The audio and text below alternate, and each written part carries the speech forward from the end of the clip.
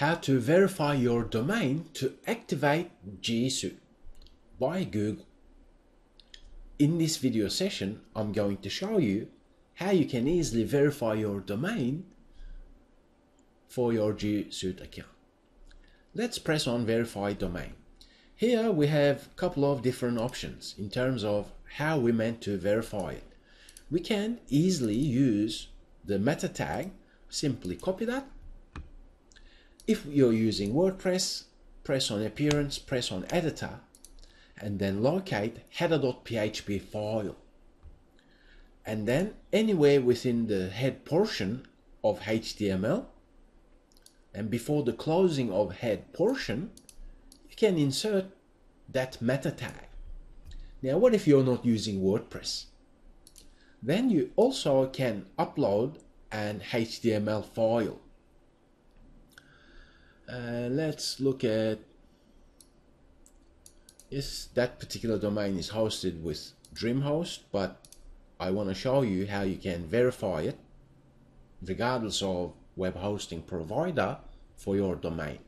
Simply download HTML verification file which will be unique for your G Suite account okay? Then what you need to do log into your web hosting account locate file manager. And in there we have public underscore HTML this is the usual naming convention. If you're using let's say GoDaddy, SiteGround and so on simply access your cPanel and there you'll have an option for file manager. And once you browse into file manager go into public underscore HTML select upload and then choose the file from your local computer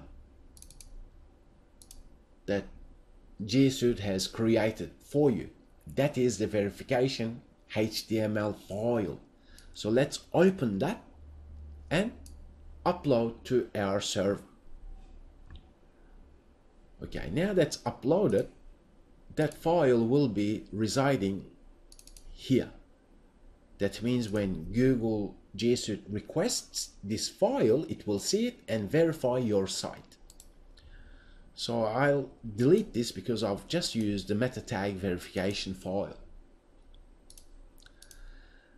and let's yeah we've download that let's select the meta tag option let's select I have added the meta tag to my home page and let's press on verify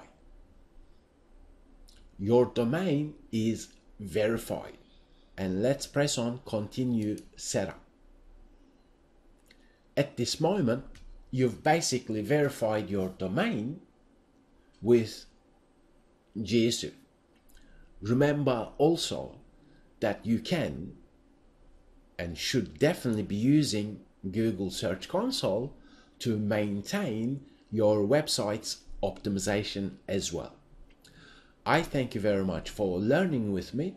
For more G Suite related uh, video tutorials, simply subscribe to RankYa YouTube channel because I'll be creating more G Suite related video tutorials such as how to set up your Gmail account with your business email account, and so on. I'm wishing your business great success on the internet, and I'll talk with you in the next video session.